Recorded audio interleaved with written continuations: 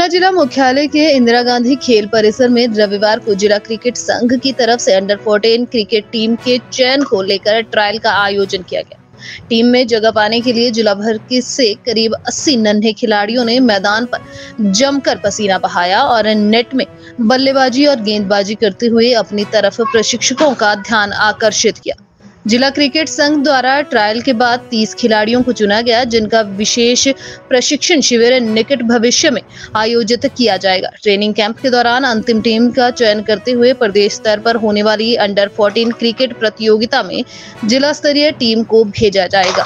पंद्रह अक्टूबर से अंडर 14 जिला क्रिकेट प्रदेश क्रिकेट संघ द्वारा आयोजित कराया जाने वाला टूर्नामेंट अंतर जिला टूर्नामेंट है। इसमें प्रदेश के सभी 12 जिलों से टीमें आती है। ऊना की टीम के लिए आज बच्चों की चयन प्रक्रिया है।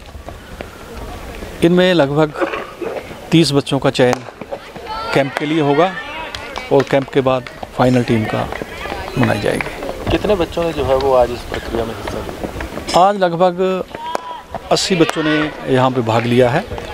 सभी गाँव से ज़िले के सभी तरह के बच्चे यहाँ पे आए हुए हैं।